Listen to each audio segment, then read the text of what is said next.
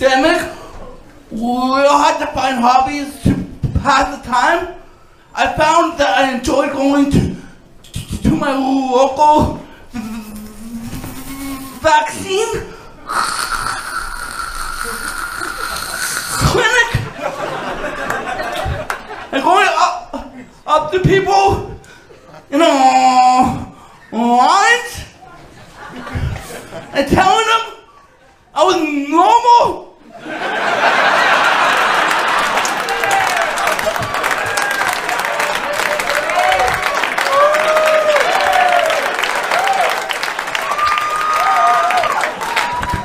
Before I took the job,